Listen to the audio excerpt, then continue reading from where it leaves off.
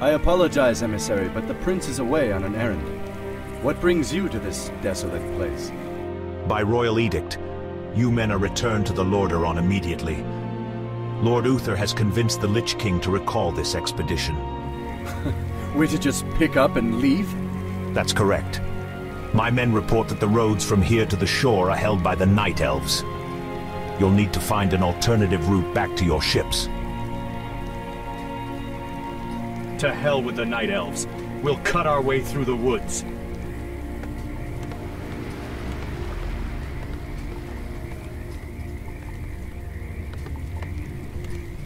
Captain, why are the guards not at their posts? Well, my lord, your father had our troops recalled at Lord Uther's request. Uther had my troops recalled? Damn it! If my warriors abandon me, I'll never defeat Mal'Ganis. The ships must be burned before the men reach the shore. Isn't that a bit much, lad? Burned down to their frames. No one goes home until our job here is done. Tread lightly. Ah, we'll need more minions to fight our way through the Night Elves. I've come across a few mercenary camps up here. Perhaps we can hire a few of them. Damn, for forcing me to do this. Let the killing begin. Let the killing begin. Let the killing begin. More gold is required.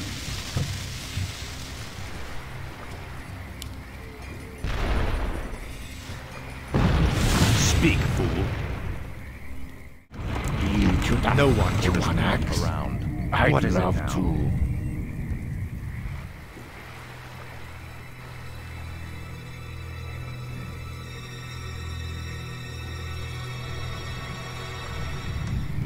Speak, Who'd you want to kill? Well met. At last, this is more like it. Frostmourne hungers. Tread lightly. Well done. Only one ship remains.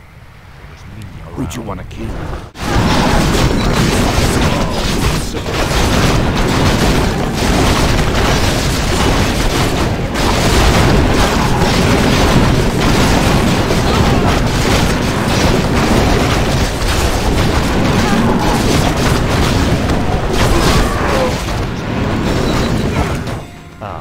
last. You got my attention, honey. Let's do this.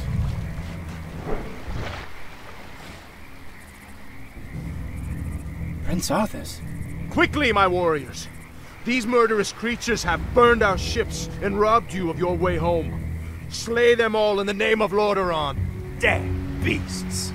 Kill them all.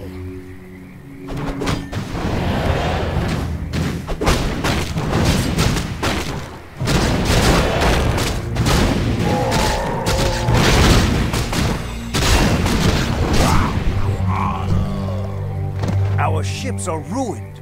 What will we do now? Listen to me, all of you.